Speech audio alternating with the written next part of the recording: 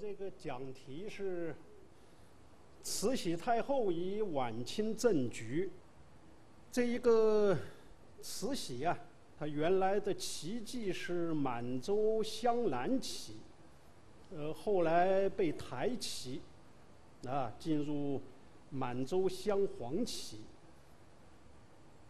出生地大概是北京。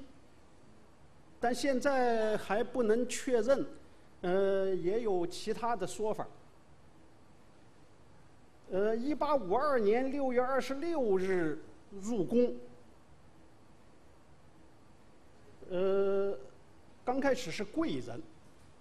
一八五六年呢，生他这个儿子载淳以后啊，然后就陆续的递升。那么到咸丰死之前。就是她的丈夫死之前呢，她已经是皇贵妃，啊，那么这一个后来他的儿子继承帝位，他就成为皇太后。他儿子继位以后，他开始垂帘听政，在这之后呢，控制清朝朝政四十八年，一直到一九零八年。那么一九零八年随后三年，一九一一年。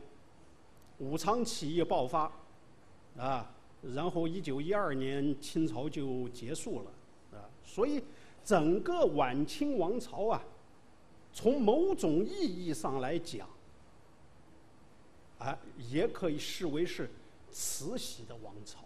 慈禧这个人呢，还是比较聪慧的，再一个呢，性格比较坚毅，这个和他。早年的这一个经历有关系，啊，他的早年呢，这一个家庭呢，遭受了一些大的变故。一个是道光二十二年五月，清朝呢发生了一个大的案子，叫银库案，啊，银库案，它这个起因呢，就是库丁呢。在称银进库的时候啊，瞒报漏报，原来应该进国库十一袋银子，那但是库丁呢瞒下了四袋，私下分。但是因为分赃不均，内讧，这个事事情败露了，啊，道光皇帝大怒啊，命令查库。查核的结果呢，发现账面和实际库存银。相差九百二十五万两千多两银子，这是很大的一个数额了啊！那么朝廷就下令，从嘉庆五年到道光二十三年，就是到他这一次释放，这期间管库的这些官员。有现任官职的革职，并且每个月发赔银一千二百两银子，啊，因为这是几十年了，从嘉庆五年到道光二十三年，如果死了的，由他的子孙，儿子死了由孙子来代赔，但是减半，啊，减半。慈禧的曾祖父呀。他曾经任这个管库的官员三年，摊下来应该赔银子四万三千二百两，减半。他的曾祖父死了，就由他的儿子，就是慈禧的爷爷来赔，啊，赔呢减半是两万一千六百两。后来他的爷爷赔了一千六百两，就是赔了个零头。不愿意赔了，这当然不行了，啊，这一个在道光二十七年就被抓捕下狱，那么后来家里边可能凑了些钱，啊，关了两年以后放出来，这个单家里边有一些变故，啊，这个是一个事情，啊，还有一个呢。就是他的父亲，啊，我们刚才讲了他的曾祖父、祖父，那么还有他的这个父亲，他的父亲叫惠贞，啊，在这一个一八五一年呢，他就出任安徽临池太广道，啊，这个地方驻地是在芜湖，安徽的芜湖，下面管五个府一个州。安庆府、徽州府、啊宁国府、池州府、太平府，还有广德这一个直隶州，二十八个县。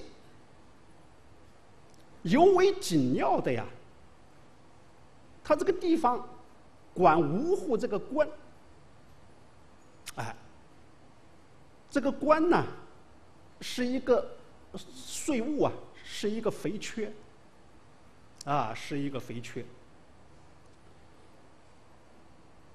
但是，他所到的这个时间，到任的这个时间就不合适了，啊，到任的这个时间呢，正好是太平天国兴起，啊，兴起，然后安徽呀，又是清军和太平军拉锯的一个战场，你打过来，我打过去，啊。所以他到安徽以后，这个仕途很不顺利，啊。那么在咸丰三年三月二十号，安徽的巡抚就给朝廷参奏，就说他的父亲惠贞，这个时候慈禧已经入宫了，啊，已经进进宫了，然后就说他这个父亲呀，一个。携带银两，他把公家的这个钱卷了，还有印信，啊，衙门的这个印信呐，大印呐，逃亡不知所向。这咸丰皇帝看了，大大怒了，然后把他的官免了，然后要求查这个惠贞跑到什么地方去了，啊，那么到六月三号。那么这一个查有这个结果，就是说他逃到江苏的镇江，啊，那么已经死了，啊，那么这些事儿呢，可能对他，嗯呃连遭变故啊，对他这个性格呀这些可能会有一些影响啊。我们为什么讲这两个案子呀？因为我们下面要讲这一个在慈禧当政时期啊，这一个官员腐败化啊，官员的腐败化。那么这个呢，也可以算是提前做一点交代啊。那么讲了慈禧呢，但更重要的要讲她的丈夫她丈夫是奕柱，啊，嗯，咸丰皇帝。他是道光皇帝的第四个儿子，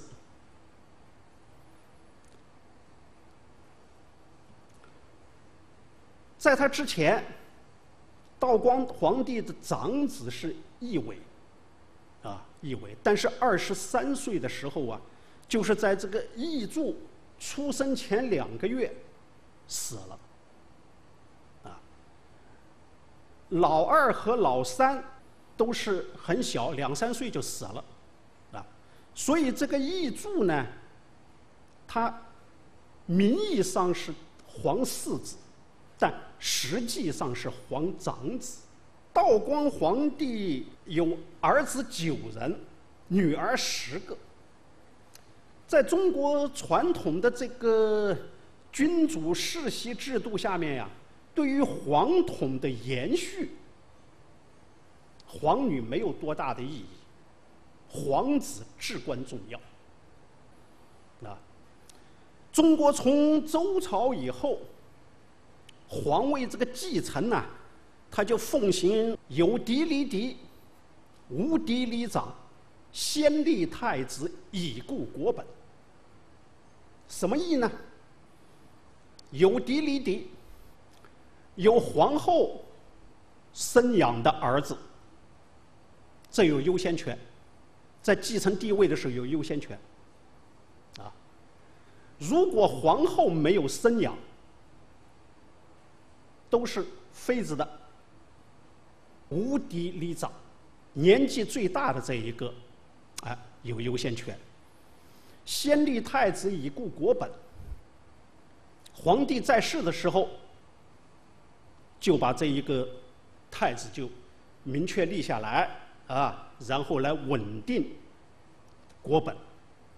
但清朝是少数民族入关，对这个实行并不是太严格啊。有清一朝明确立太子的，就是康熙一朝啊，康熙一个朝。这康熙十四年，这这这立太子，但效果不好。这个大家都知道啊，立了又废，废了又立啊。那么最后实际上继位的是皇四子。啊那么这一个后来的雍正皇帝了，但雍正皇帝现在也是有很多谜了，啊，也是有很多谜了。这个也正因为此，从雍正时候，他对中国传统的这个地位继承制度有一个重大的改革。什么改革呢？储位密建制。第一，就是所有的皇子不分嫡庶、不分长幼，就是不管是皇后生的还是妃子生的，也不管是年纪大还是年纪小，一律平等，都有资格入城大统。啊。这个就使他他这个地位继承人的选择范围大大的扩大了，啊，这个是一个内容。第二个内容呢，不欲立太子，就是皇帝生前对所有的皇子进行秘密的考察，然后他把他所属意的。对象写下来，啊，写下来，他有些规定是，呃，一式两份儿了，啊，一份儿放在乾清宫正大光明那个匾额后面，啊，还有一个他自己皇帝随身带着或者放在他的寝宫里边，啊，这个改革呀，是一个。非常高妙的一个改革，它使皇帝对接班人的这一个挑选的范围啊，大大的扩大了。啊，这个是一个。再一个呢，它防止形成太子集团，啊，防止形成太子集团。如果欲立太子，皇帝在世的时候欲立太子，那么当朝皇帝和这个接班人太子之间，这个就是一个天然的矛盾。皇帝早死早接班，晚死晚接班，老不死老不能接班，啊，所以历史上就有很多这样。杀父杀君的这个情况了，啊，那么现在呢，我不欲立太子，啊，那么使这个矛盾就减缓了，啊，再一个呢，就是说他防止形成太子集团呀，你欲立太子，这些当朝在朝的这些大臣呐，他都知道这个人是将来的皇帝。所以有意无意的要聚集在他的周围，既或皇子很仁孝，太子很仁孝，你也架不住这些大臣呐，给他出那些馊主意，啊，呃，在在底下撺掇着他，啊，那么现在你不知道谁是帝位的继承人呢？那你只能押宝啊，你押的老二。呃，没准人家是老三继位，你丫的老三没准老五继位，啊，那么这个呢，他就防止这个呃形成太子集团。易柱出生以后，形势对他比较有利了啊。一个呢，他是实际上的长子；再一个呢，就是他的母亲呢，在后妃当中呢，地位比较高，啊，地位比较高。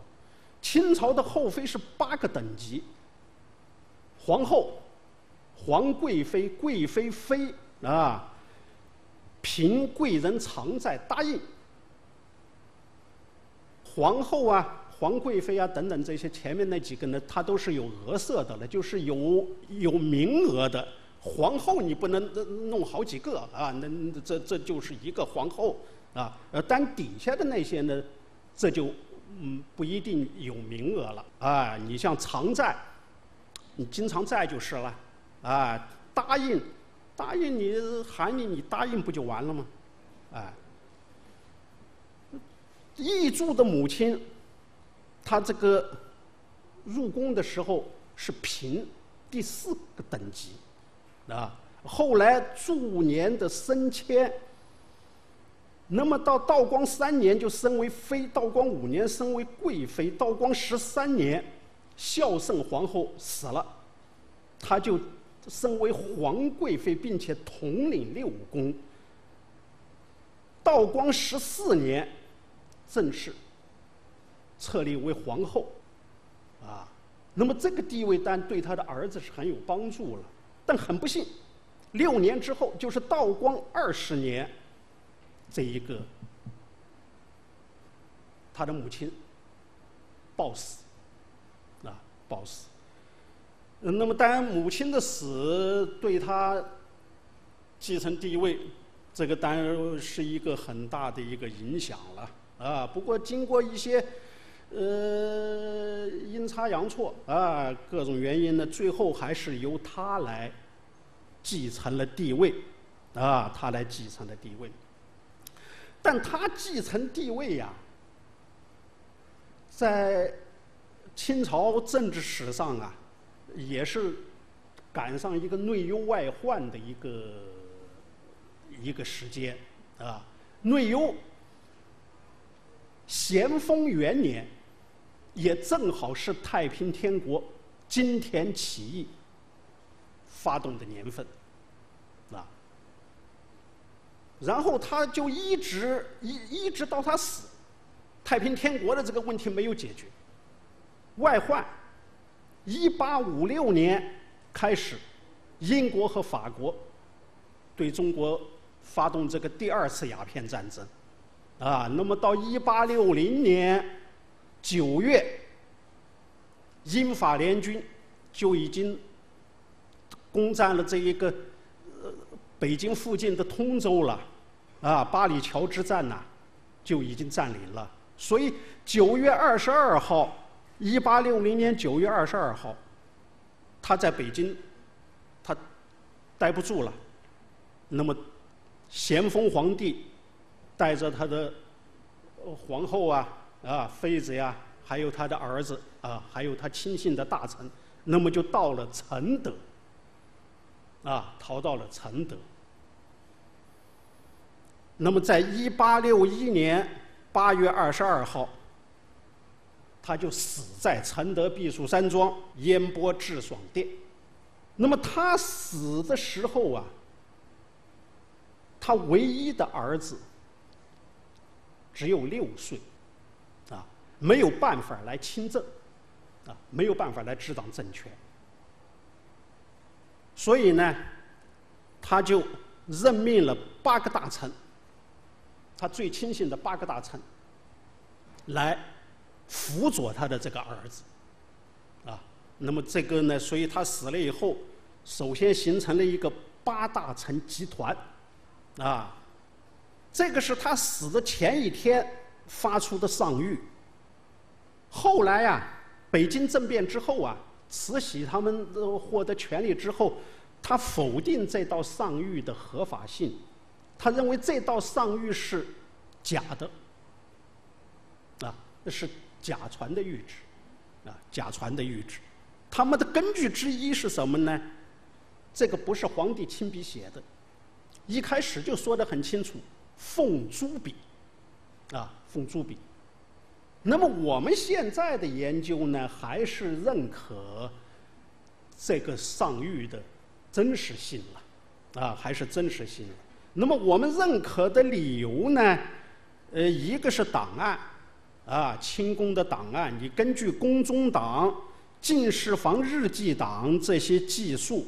那么说的都很明确，几点几分，哎，这一个咸丰皇帝在什么地方，啊，就是这一个烟波致爽殿，然后去世，啊，这这这记述的很清楚。还有一个材料《热河密札》，他就记述了咸丰临死时候的情况，啊，他就说十六午后晕厥。皇帝晕过去了，主内中缓散，赶紧用药，啊，至晚舒转，晚上醒过来了，始定大计，确定大计，啊，这个回光返照了，啊，你赶紧得得得，后事儿你得安排呀。子出三刻见时，就是大臣跟他见面，传谕清楚。说的很清楚，各位请当好。这就是你赶紧写，把你的这个遗书要写下来呀，遗折要写下来呀。欲以不能执笔，皇帝说他写不了了，啊，病太重写不了了。注写来述之，啊，我说你们写，写了以后念给我听，我认可，啊，那么。所以，故有承写字样。他这个呢，就解释了为什么是奉朱笔。这个不是皇帝亲笔写的，但是是皇帝真实意思的表露，啊。那么这个是一个集团了啊。第二个集团呢，就是这个。奕欣集团在他死了以后，我们刚才说，咸丰皇帝是老四，这个奕欣是老六，啊，奕欣是老六。那么道光皇帝有九个儿子，一二三早死，七八九比较小，老五呢过继给旁支了，啊，所以在当时。继承帝位的最重要的候选人就是老四和老六，啊，老四咸丰皇帝和老六，这个奕欣，啊，奕欣。呃，这个单各种史册上面有很多记述了，他们之间怎么来竞争的呀？怎么来争夺的呀？啊？呃，但现在看来呀，这个坊间流传的这些大部分夸大了他们的这一个竞争的关系，啊，夸大了这个竞争的关系。为什么说夸大了这个竞争的关系呢？他实际上呀，在道光皇帝临死前三年六个月，他就已经。道光皇帝就留下了遗遗书了，他就留下遗诏了，就是一八四六年八月七号，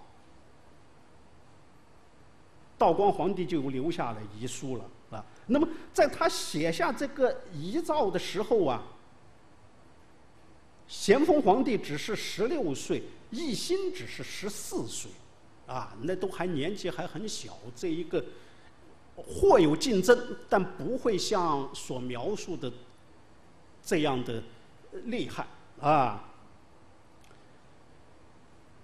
那么到道光皇帝死，这一个把他这个盒子打开啊，啊，开启他这个盒子呢，发现这个盒子里边装了两份上谕，第一个是封皇六子奕欣为亲王。第二个呢，就是立皇四子奕柱为皇太子。道光在临死前封义祝皇太子的同时，封奕欣为亲王，而没有封其他的儿子，但反映出道光对这两个儿子的偏爱，啊，还有特封奕欣为亲王，这个有保护他的意思，因为历史上呀，呃，往往出现胜利者对失败者的仇杀，啊，咸丰继位之初。和奕欣的关系啊还是比较融洽的，啊，在一八五三年十一月份的时候，呃，咸丰甚至任命奕欣出任首席这一个军机大臣了，啊，首席军机大臣。但这个好景不长，到一八五五年九月二号，那么这一个咸丰就宣布罢免奕欣的一切职务。他为什么有这个举动呢？他就认为奕欣假传圣旨，就是在他母亲的这个丧议上面，啊，他母亲原来是皇贵妃，啊，那么他认为奕欣假传圣旨，把他母亲后来抬为皇后，啊，康慈皇后，那么他认为这个是一个不能原谅的一个问题了，啊，那么就把奕欣的所有职务都罢免了。啊，后来也一直不予重用，那么两人的这个隔阂就越来越深啊，一直到一八六零年九月，我们说了，英法联军逼近北京的时候，咸丰出逃，啊，咸丰出逃，出逃他居然他不带他的这个弟弟。他把他弟弟啊留在北京这个围城，北京这个地方英法联军马上要打进来了，啊，这这这是很危险的呀，哎，他把他留在这个地方，啊，后来他病重，这一个奕欣几次写信说想去探视他的哥哥，呃，他他说你不要来，啊，你不要来，然后在任命的八大臣里边也没有他的这个弟弟，啊，可见两人的隔阂之深。但是一心呢，他留在北京反倒因祸得福。一个，他办理外交，他和英国、法国、美国、俄国这四个国家签订了《北京条约》。啊，签订了《北京条约》，那么，呃，一八六零年十一月九号和十二、十二号，法国和英国的军队就先后撤离了北京，使北京的威胁不复存在，啊。那么，和议这个成功，当然使奕欣的威望大增了，而且他也在和外国打交道的这个时候呢，获得外国人的支持，这个是一个外部的，内部的呢。就是他借议和的机会，把一大批没有随驾，而被咸丰皇帝遗弃在北京的大小官员，团结在自己的周围。这些人在战乱时期和奕欣是同命运的，都是被皇帝给给给抛弃在北京的，啊，那么很容易产生共鸣。啊。那么就由这样一些留守京师的官员为核心，形成了奕欣集团，啊，所以咸丰死后啊，中国当时两个统治重心，一个在承德，由八大臣控制；另外一个在北京，由奕欣来控制。啊第三个集团呢，就是这个太后集团啊，太后集团。太后集团主要是两个人了，一个慈安太后，啊，这个是咸丰的正宫，啊，慈安太后；另外一个就是慈禧，啊，慈禧太后。嗯，她原来是皇贵妃，后来。咸丰死了以后，她儿子继位，才成为这一个皇太后的。啊，咸丰临死之前，给慈安给他一个图章，上面刻着“御赏”两个字的图章，又给慈禧一个图章，上面刻着“同道堂”，啊，“同道堂”这三个字的一个印章。所以咸丰死的当天，那么这八大臣他们这些呢，就以皇帝的名义啊颁布诏书，他们来起草上谕。起草上谕以后啊，要请皇太后、皇上盖这个图章，啊。盖这两个图章，那么这个才能有效的，才能视为有效。这儿呢，它就造成了一个权力二元化的一个取向啊。逆旨权、执行权的等等这些都在八大臣的手里边了，但是太后她有这个盖印的这一个权利啊。那么这个二元化的取向，但。对于慈禧他们这些，他是不能满意的。但是，慈禧他们主要是生活在宫里边，按照祖制，他们不能随意和宫外发生联系。但没有宫外力量的援助，他们单靠他们这个在宫里边，他也无法。来来来，撼动这一个八大臣，啊，在太后集团急切寻找外部力量的同时，奕欣集团那么他们就迫切的想打入宫内。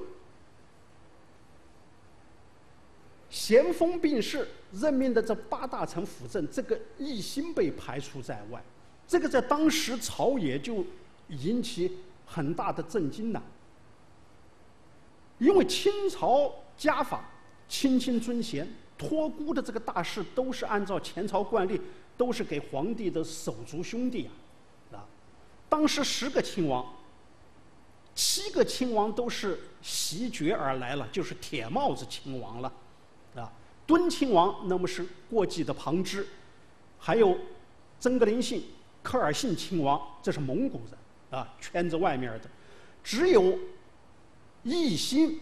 恭亲王这个与众不同，他是道光皇帝朱笔亲封，又跟咸丰是异母的弟弟，能力也很强。他被排除在外，那么这个单引起很多的猜测，但都很自然引起奕欣集团的他们的不满了啊。所以奕欣集团呢，他们也想迫切的打入宫内，哎，这样一来呢。太后集团和奕欣集团这两方面就联手，啊，联手呢，最后就发动了这一个北京政变，啊，发动了北京政变。那么这一个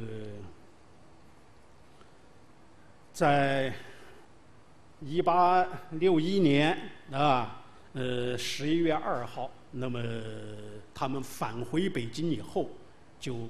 把这八个大臣就把他控制了，啊，那么这一个从这开始，咸丰啊，呃，这一个生前所决定的清朝中央的政治格局就全面的改观，啊，一个新的政治局面开始，啊，开始呢，首先就是一个是由奕欣出任政府的首脑，啊。他再度出任首席军机大臣，啊，还有总理衙门大臣，政府的首脑。然后呢，实行太后垂帘，垂帘听政。啊，我们这儿就是他垂帘听政的一个场景。小皇帝坐在这个御座上面啊，那么这一个奕欣和奕轩分立两边，因为他那时候还比较小啊，六岁啊，啊，怕他调皮啊，分立两边。等他岁数大了，但这两个王就下去了，啊，太后在这个黄曼子后面，啊，垂帘听政。但垂帘听政它是不合法度的，中国历史上啊都是严禁女性来干政，严禁母后来干政，啊，所以呢。慈禧他们实行垂帘听政的时候，他也一再的宣称，这个垂帘听政呢，是权宜之计，啊，等到因为等到皇帝年纪大了，就要把这个权利啊归正，归还皇帝，啊，归还皇帝。所以到一八七三年二月二十二号，那么这一个同治这时候就已经年年长了啊，那么就开始他开始亲政，啊，呃但这个情况没有延续很长时间。一八七四年十二月八号，清政府呀就向外界就公布了同治病重的信息。啊，要求各地啊推荐良医啊进北京来给皇帝治病，啊，一八七五年一月十二日，同治皇帝就病死了，啊，皇帝就病死了。这一个清朝啊，从咸丰朝开始啊，他的这个继承人呐就发生了问题，啊，在那之前呢，呃，康雍乾和这顺治啊，什么嘉庆啊，这这这些道光啊，都是有很多子女，啊，二十多个、三十多个，道光皇帝算少的，啊，我们也说他有九个皇子了。至少活下来的还有四五个呀，啊！但是从咸丰皇帝开始，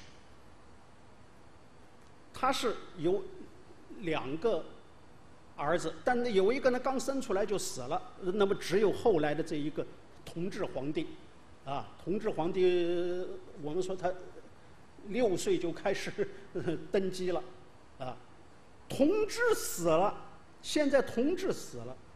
无子，啊，同治无子，然后后面继位的光绪又无子，再后继位的宣统也无子，啊，所以他这个继承人呢，他就发生了大问题了，啊，发生了大问题了。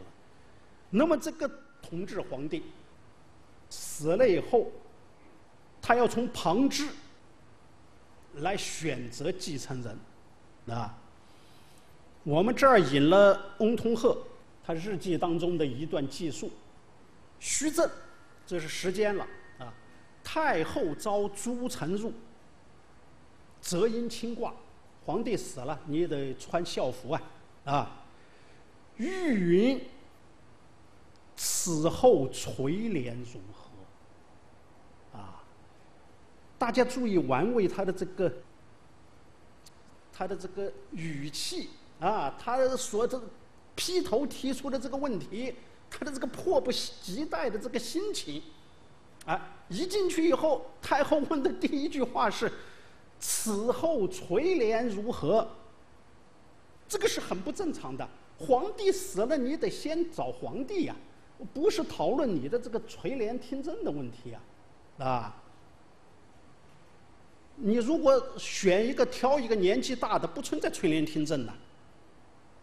啊，那么所以书城中有言：“宗社为重，请择贤而立。”首先是选这个地位的继承人啊，然后呢，恳请垂帘，再讨论垂帘的事儿啊。那么慈禧又说了：“文中无次子，若陈氏。”年长者实不愿，找年纪大的不不不行，啊，为什么呢？他说：“须幼者乃可教育了。”现在一语既定，永无更疑。我二人同一心，二人就是他和慈安了。他们商量过啊，汝等静听。这个问题不讨论，你们就听着啊。择即宣布某。他就把这名字说出来，当翁同龢他要避讳了，啊，他要避皇帝的名讳了。为时纯郡王，就是我们说的这个奕轩老七，啊，他的反应是惊惧尽尾，碰头痛哭，昏迷伏地，夜之不能起。他在底下跪着呢。一听怎么念到他儿子的名字了，来继承这个地位，你看他惊惧敬畏，碰头痛哭，然后昏过去了，啊，拉也拉不动。一八七五年二月二十五号，这个后来的光绪皇帝啊，奕轩的儿子就被进宫啊。他为什么选立这一个载田，就是光绪皇帝啊，载田来继位？啊，有那么几个原因。第一个呢，载田年幼，仅止四岁，啊，这个时候只有四岁。便于慈禧垂帘听政。第二个原因呢，载田和慈禧关系密切，啊，他是咸丰皇帝的弟弟奕轩和慈禧太后的妹妹叶赫那拉氏生的，所以他和慈禧是有双重关系的，啊，从慈禧的丈夫那边来论，他是他的侄子。从慈禧的娘家这边来论，他是他的外甥。啊，第三个可能也是更重要的原因，就是他是属于载字辈。啊，就是他和同治皇帝载淳是属于同辈的，这个是违反常理和体制的。啊，我们这儿列出来了，咸丰皇帝、慈禧的丈夫他们是义字辈，然后同治皇帝是载字辈，那么他应该在普字辈里边来寻找继承人。光绪的地位是来自于咸丰皇帝，这个于情于理都很难说得通啊，啊，你从情上来说。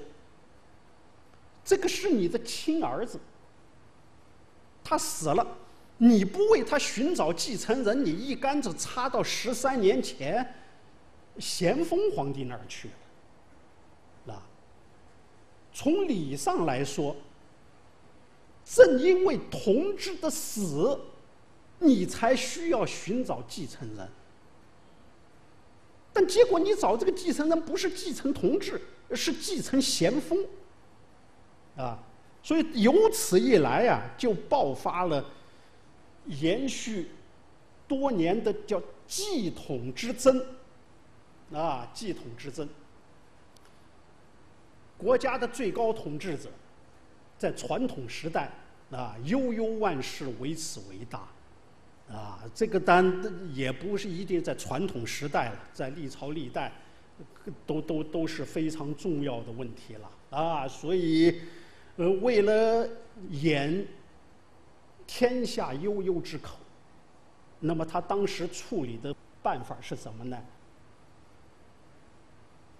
为了慈禧的垂帘听政，那么他的这个地位继承是从咸丰皇帝那个地方来继承，但是为了安抚同治，他又含糊的规定，光绪。生子，生儿子，过继给同治，啊，做子，过继给同治做子，以这个呢来安抚，要不然为这一个同治抱屈啊，啊，为同治抱屈啊，但这个也是在朝野之之间酿发大的这些风潮啊，不断的有人提抗议，因为。呃，他有些要求颁立铁卷，把这个规定铸成铁碑，啊，这个是封建时代最高的立法方式了，啊，然后同治死后七十五天，同治皇后也死了，啊，也死了。那么，但他的死和慈禧这个脱不了干系了，因为也有记述说她怀孕，啊，有身孕，有身孕，但。呃，他不能让这个孩子生下来了，生下来这不已经有皇帝了？你这个生下来算怎么回事儿啊？啊？那么知道一八七九年四月，啊，就爆发了吏部主事吴可读，啊，这一个为同治民冤的这个很严重的这个事件，啊。一八九七九年四月，同治帝后大葬，啊，同治帝后大葬。他这个大葬呢，因为同治死的很年轻了，啊，十九岁，都所以他死之前这个陵墓还没还没弄呢。那么死之后赶紧弄啊，弄那么弄了五年，到七九年四月份，然后就在这个东陵了啊，清东陵。在这个清东陵的惠陵，然后就大葬。大葬的这个吴可独在吏部当差的，啊，他就随着队伍一起去了。去了以后，大队人马、慈禧啊、皇帝啊这些都回来了，他没回来，他还留在那个地方，啊，留在那个地方三一庙啊，留在那个庙里边然后写这些遗书啊，去给左宗棠的信呐，给他儿子的信呐。还有给这个这庙的这个周道士，姓周的一个道士，给他写的信呢，那些啊，写完了以后，他就自杀了。最重要的就是他的这个遗书，啊，给皇给朝廷的这个遗书。那么他死了以后，从他的怀里边就就就拿出他的这个奏折了。啊，他就公然指责皇太后以物载物，为文宗显皇帝立子，不为我大行皇帝立嗣。你为你的丈夫这个这个地位的这个继承啊，然后你不为这个同治皇帝来立嗣。在那之前呀，我们说已经爆发过很多次，但是都被慈禧压下去了，啊，他或者呃给他们的罢官呐、免官呐，或者批驳他们呀，都给压下去了。但这一次举动非常，啊，无死战，文死谏，这个是封建时代围城的最高的境界了。所以这个他不能压下去啊。那么，慈禧让这些大臣来讨论，该怎么来处理？那怎么来处理？大臣讨论这个也是一个很麻烦的事儿呀。它涉及到三朝的皇帝，咸丰、同治、光绪，当朝的皇帝光绪，涉及到太后。还有一个，你更挠头的呀，就是具体处理起来你怎么弄？啊，光绪是祭祀咸丰，但他的儿子又要祭祀同治，这个关系怎么来理顺？不明确指明光绪生子必须祭祀同治。这个你说不过去，啊，就是他生的儿子，你必须得过继给同治，但是你要指明了，这个又违反了从雍正朝以来不得御立皇储的祖制，他过继给同治的这个儿子，那肯定就是将来的皇帝呀，啊，不生子怎么办？生子不贤不孝又怎么办？国家你没有其他的他选了，啊，而在这个大家这个 都挠头的这个情况下面，张之洞他上了一个奏折呀，有这一个 四两拨千斤的这一个效果，啊，大家都找不出办法的时候，哎，他轻轻的。把这个问题给化解了，他怎么化解呢？先立储，再立嗣。他把这个关系啊颠倒了。光绪皇帝，你生儿子，不马上过继给同弟为子，你爱怎么生怎么生，然后从光绪生的这些儿子里边选出一个合适的人来继承帝位。继承帝位的这个人，才是同治皇帝的继子。就是说，他先不是给同治来这选这个继继子啊，先不是亲缘关系上这个继子，哎，他把这个先是选皇帝，选了皇帝这个人，才是继子。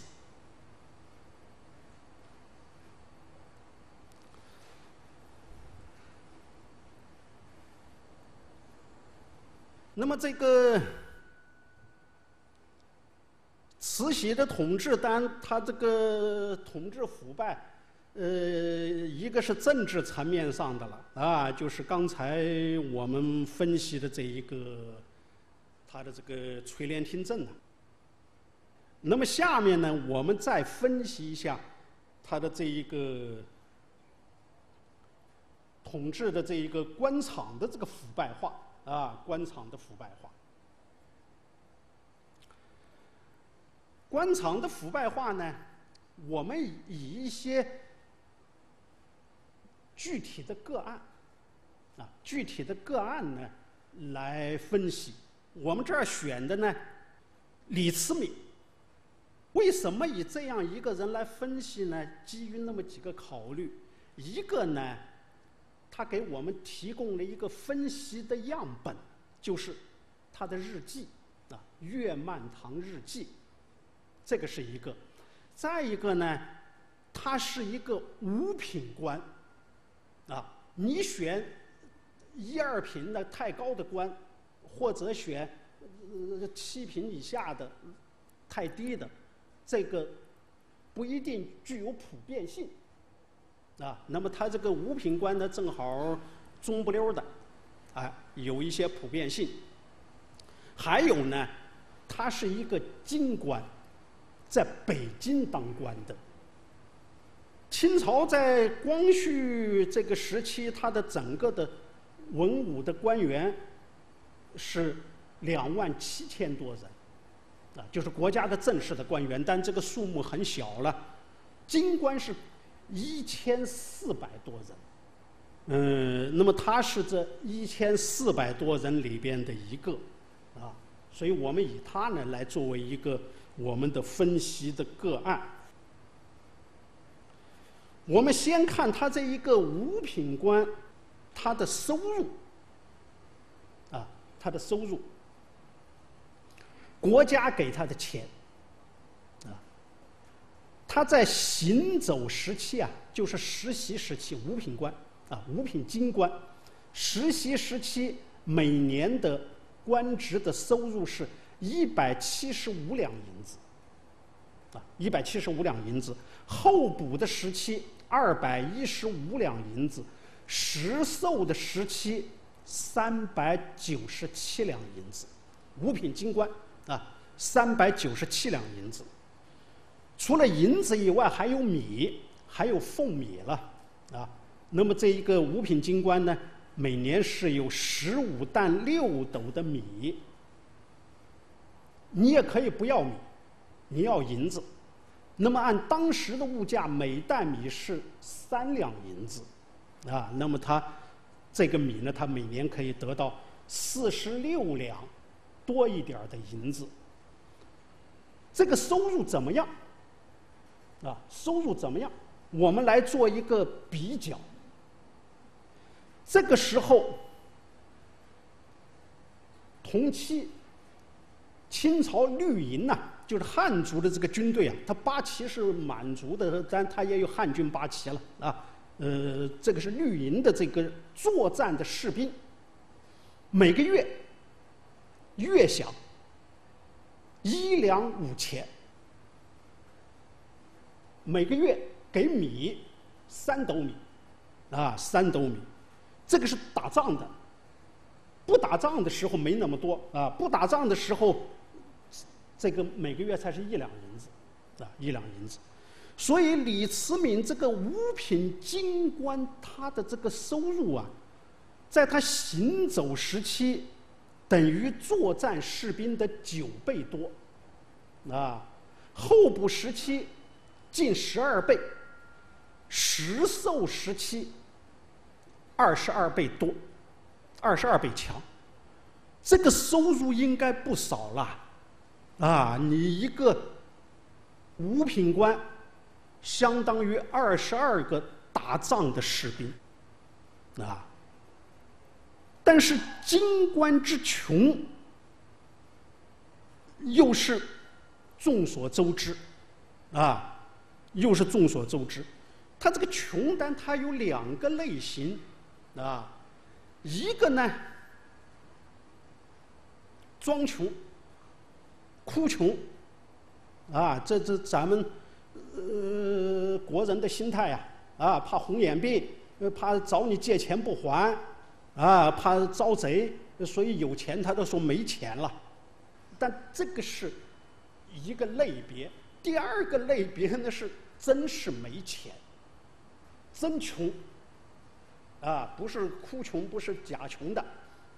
你像他这个。《岳曼堂日记》里边啊，这有这方面的记述了。你像他这个咸丰十年十二月四号，元熙祖阁学爆卒，内阁学士突然死了，起其匣仅百金八两，家里边翻箱倒柜只找出八两银子，无以为殓。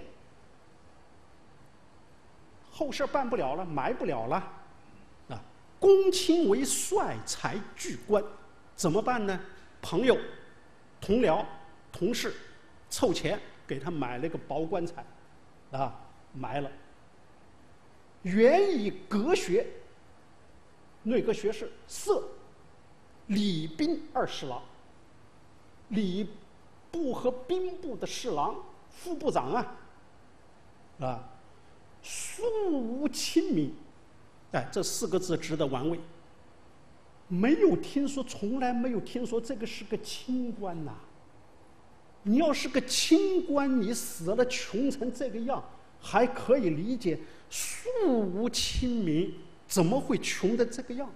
啊，去岁方志明点士归，死的上一年才从福建主持科考，啊，主持科考才回来的。科考这个是个肥缺呀。啊这这这些，呃，门生啊、学生啊，这些都都都得进贡的，啊，而齐贫至此，京官之况可想。你看，这这是讲他的，呃，官职比他高一点的了啊，元熙祖。这就是问题了，按他们的这个收入。京官的收入远在一般的生活水平之上，但京官之穷又是事实，又是事实。为什么会如此？它就在于啊，官场的极习，一般京官的生活方式，官场的腐败化已经到了非常严重、非常普遍的程度了。就是所有的官员，他不是说他不能维持一般人的生活，而是不能维持他官员的生活。那我们来看他的这个支出，啊，我们刚才看了他的收入，来看看他的支出。一个送礼，对上司你得送礼，不但对上司送礼，对上司的。呃，仆人呐，提这一个抬轿子的呀，轿夫呀，门房呀，这些你都得要送礼的。你门房你不送礼，你都进不去的。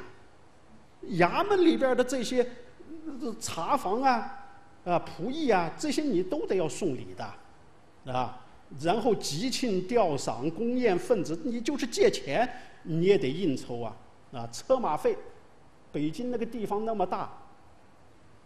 啊，你这一个没个车马，那个时候公共交通也没有，啊，这这这车马费，穿戴啊，朝官、朝服、朝珠。啊，你你你不可能像那些有钱的，像荣禄那些朝珠三百六十串，我一年不重复的换，你但你总得有一串吧？啊，都你这这些都得花钱啊。但最花钱的跟我们现在一样，房子。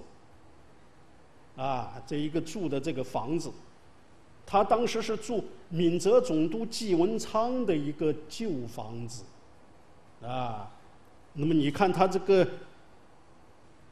当时收入一百二十三两银子，租房子的租金七十二两，就把他的这个钱就花了一多半了。然后你还得布置啊，花木啊、草啊什么的，你这些都得花钱呐。但是这个时候，他们这些官员都是这样住的，你不住，你进不了这个圈子，你不入流啊。啊，所有的官员大家都是这样在生活的呀。妻妾，啊，这个也是开销。你像他这个同治五年，穷的叮当响，哎，他花四百元翻金，翻金就是那个时候是流行墨西哥银元了，啊，我们在。十九世纪五十年代之前是西班牙银元啊，在那之后是墨西哥银元，我也也叫做这个阴阳了，花了四百块钱，买了一个唱小曲儿的，哎，他觉得唱的好听，作为小老婆，作为妾。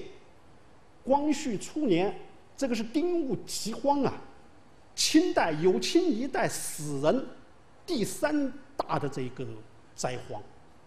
啊中国当时死了一千万人，四十个人里边死一个，四亿人了，啊，四十分之一死了。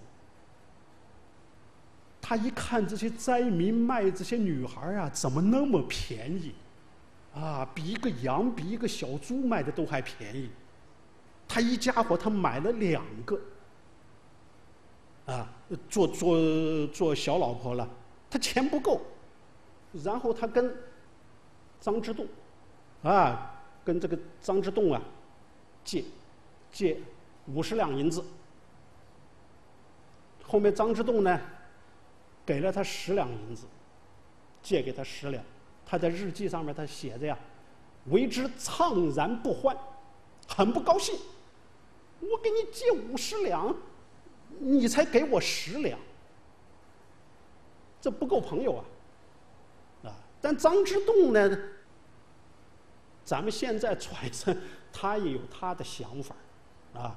你要真是没没有吃没有喝过不下去了，你给我借钱，还情有可原。你买小老婆，你给我借钱，而且你一家伙你买两个，所以张之洞就想，我借这十两银子都是看在。朋友的面子上了，啊，要不然你没有道理嘛？你买小老婆，你给我这这这这叫什么意思呀？啊，这花费，仆役，啊，你看这敲钟点的厨子、车夫，啊，这些听歌赏戏、野游这些一掷千金。光绪三年，他的弟弟啊，他是浙江人。在家乡饿死了，啊！但是他自己在日记当中，他这个十一月八号，他的日记上，他记啊，他就说这一年他花在酒市声色之费不下百金，但他也说通计出门七年以来，寄地者不过十斤耳，离家七年，给他弟弟寄的不到十两银子，结果他这一年捧戏子啊，听小曲儿。这一个干这些乱七八糟的这些啊，花了不像百两银子，啊，吃饭、饮宴。这个时候你要来看他们这些日记呀，官员的日记，大致四分之一到五分之一的篇幅就是写吃饭，啊。在哪个今天在哪个饭馆吃了什么菜了？哪个菜怎么样了？席间又是谁来了？又是呃赋诗了？又是作对了？啊，这这这又是听什么曲儿了？谈什么事儿了？全是这些啊。所以，来谋求制度外的收入，就是呃，清代他是卖官、卖爵位了啊。那么你这个捐徒出身的呀，你除了向政府来交钱以外，还要有人保举。这个保举不是免费的，啊，是是是是是要收费的，啊，你不管是捐公民呐，还是捐官呐，啊，那么都都要给这个支取这个呃要要要这个保保保取费啊。那么这个呢，他就。大概是以省在北京的同乡会啊，他们来呃来掌控这一个保举的这个钱，这个叫应接钱啊，应接钱。那么浙江是一个比较富裕的省份了，所以它这一个应接钱也比较多啊。你看它的这个应接钱后来分下来，以李慈铭这样一个五品官，他分的。最少的年，每年分到一百一十八两银子；最多的时候，三百八十六两银子。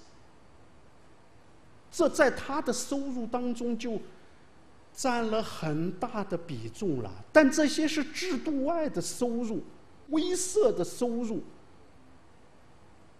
啊，不是国家的正规的这一个给你的俸禄啊。所以那个时候，官员的贪污成为不得不。你要不贪污、不中保，你没有办法来维持你那个在官员官室的那样生活，啊。下面呢，我们再讲帝后的党争了。一八八九年，因为光绪这一个。年纪比较大了啊，那么这一个慈禧归政啊，慈禧归政，那么光绪就开始亲政啊，光绪开始亲政，呃，那么随后呢，以他为旗帜，以他的这个老师翁同龢为实际的领袖，那么就逐渐在他们周围开始形成了。呃，一个小集团啊，那么一般称为帝党。相对应的呢，以慈禧太后为旗帜的这一个后党啊。那么这两派呢，在晚清的政治格局当中呢，当然他们是有有有很多这一个角逐和争斗了啊。呃，比较帝后两党。这个战争比较严重的一个是在甲午战争时期啊，甲午战争时期，甲午战争时期呢，然后这两派呢有很多这一个较量啊，有很多较量。那么，当更严重的是在戊戌变法时期啊，呃，双方的这个短兵相接的时候啊。那么就是在在在戊戌变法时期，甲午战争呐，是中国历史上啊一个具有独特意义的一个战争。为什么说是有一个独特意义的战争呢？它是中日两国首次大规模的这一个战争。还有一个呀，它也是中国呀或有胜算的一次战争。那第一次鸦片战争、第二次鸦片战争、中法战争，还有后面的八国联军战争，中国坦率的说，你这个实力呀，还难以和这一个。敌国来来抗衡，啊！但甲午中日战争呐，从人口、土地面积、当时的国民生产总值啊，既或是交战的海军、陆军的装备，更不要说人数，中国在相当程度上是占优势的，啊，占优势的，但是战败，啊，而且战败的如此之惨，啊，签订了这一个。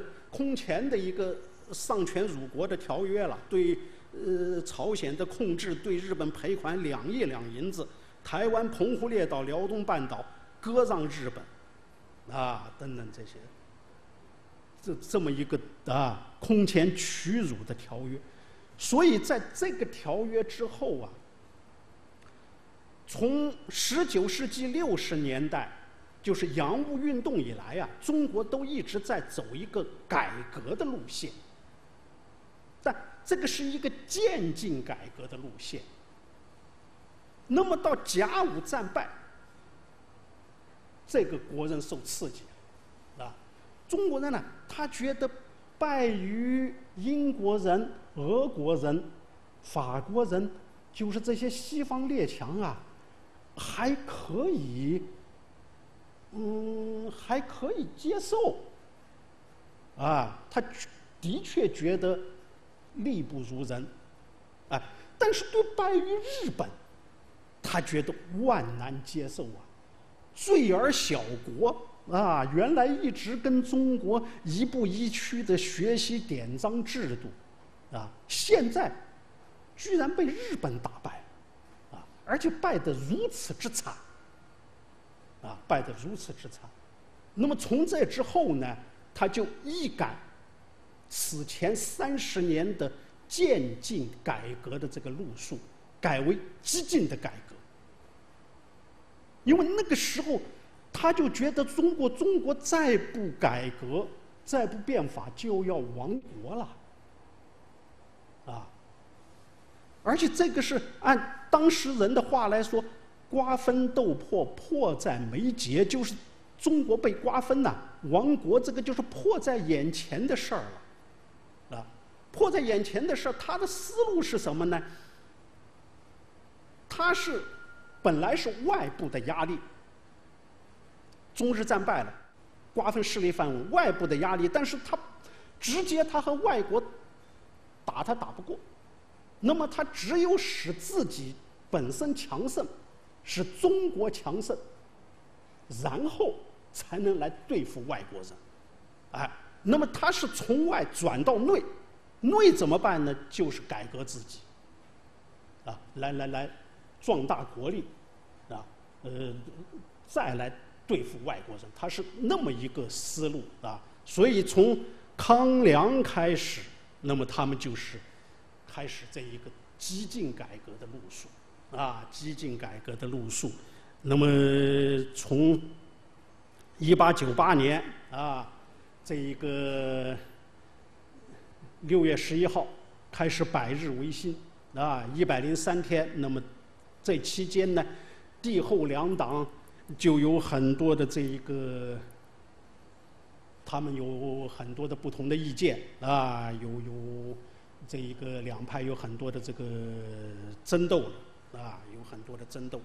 那么到九月二十一号，啊，一八九八年九月二十一号，慈禧啊，后党发动这一个政变，啊，戊戌政变，那么宣告这一个的百日维新的终结，啊，百日维新的终结。但这一个政变的原因，啊，政变的原因，但它呃比较重要的潜在的原因是，呃，帝后两党他们的矛盾的冲突了，啊，矛盾的冲突了。但是它的直接的导火线，啊，直接的导火线是什么呢？一般现在认为。有三种说法啊。第一个说法呢，是台湾的一个学者啊，叫黄章健，他认为他在他写了一个呃戊戌变法这一个史研究那么一本书，他提出啊，是这个杨生秀啊，戊戌六君子之一，杨生秀啊，他在九月二十号他有一个上书，啊，他有一个上书。他这个上书呢，他是要求啊，派军队到北京来挖圆明园窖藏的金银，啊，说这个事儿呢，要调军队进京，引起了慈禧的关注。啊，所以九月二十一号发动这个政变，啊，那么这个是一个说法，他就说乾隆的时候啊，在圆明园的那个淳化轩那个底下呀。埋了一窖金子和一窖银子，啊，那么说的杨生秀他是听一个老园丁八十多岁的老园丁给他说的信息了，啊，那么所以他要求调集军队来挖，呃，但这个说法后来被否定了，啊，不成立，啊，他为什么不成立呢？因为他呃并没有明确说要调哪一支军队。啊，也没有说是不是马上就要调军队，啊，那么还有一个说法呢，是杨崇义的奏折，一个他认为这一个要求慈禧来重新训政，重新垂帘听政，啊，还有康有为这些兄弟被引入内廷，啊，这个不行，还有他还说伊日本的前首相伊藤博文要来，那么这个所引发他的导火线，啊，这个是第二个说法，但还有一个。很流行的说法呢，就是袁世凯的告密，啊，袁世凯的告密。这一个当时光绪皇皇帝为首的这个帝党和康有为这些为首的维新派，他们联合呀，很重要的一个缺项就是，他没有实权，特别是没有军队。那么，当时北京附近的三支军队，都是让荣禄在那控制的。袁世凯的新建陆军、聂士成的武义军，还有董富祥的甘军，啊，那么他们就想拉拢一支军队，为己所用，啊，为己所用。所以在十四号的时候。一八九八年九月十四号的时候啊，他就招这一个袁世凯进入北京，那么光绪皇帝接见他，接见他呢，呃呃提拔他为兵部候补侍郎，而且暗示他不必受荣禄的节制，就是你不一定完全来听你的这个顶头上司啊，直隶总督荣禄的指挥，啊，那么九月十五号，光绪就让。杨锐传出他的第一道密诏了，啊！但这个密诏后面，杨锐一看，他没敢递出去，他觉得这这这这太厉害了，啊！他把这个字藏下来了。十六号，那么就是我们说光绪召见袁世凯，破格提拔他候补侍郎，啊！十七号呢，光绪又让林训，就是军机四卿里边的另外一个林训，带出他的第二道。密诏，啊，那么十八号的早上，林训就拿这个密诏来见康有为这些。那么按记述，就是康有为跪送、痛哭、激昂，他们在场的有六个人了，啊，跪着念这一个光绪的这个诏书，痛哭、激昂，啊，决心誓死救皇上。但是他手里边没有兵呐，那么当时北京我们说是这三支部队，那么他们就决定拉拢袁世凯的部队。十八号的晚上，谭嗣同就去见了袁世凯，啊，去见了袁世凯。那么，但他说你受到皇帝的提拔了，那么应该有所报答。现在皇帝有大难，非你不能救，啊，嗯然后就说你又说皇帝想。费力杀君了，啊，那么当时袁世凯单给他一个模棱两可的回答。一个方面呢，他看着这个谭嗣同啊，这个腰间衣襟高起，似有凶器，所以他同意他说可以围园固后了，把颐和园围起来，把皇后禁锢起来，啊，然后诛杀荣禄。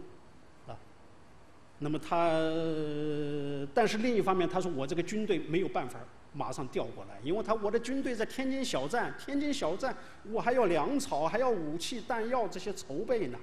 再一个，他天津小站到北京呢，他必须渡过那个陈家沟，陈家沟那个地方呢，聂士成的部队就驻扎在陈家沟，啊，所以他说我可以按你们这个来，但是马上不能来。啊，马上不能来。那么谈了呢，然后这一个二十一号，慈禧就发动政变了。那么有些就说是袁世凯告密了，啊，袁世凯告密。呃，但对这一个，呃，也有不同的说法，啊，也有不同的说法。我现在我本人我是觉得袁世凯告密是。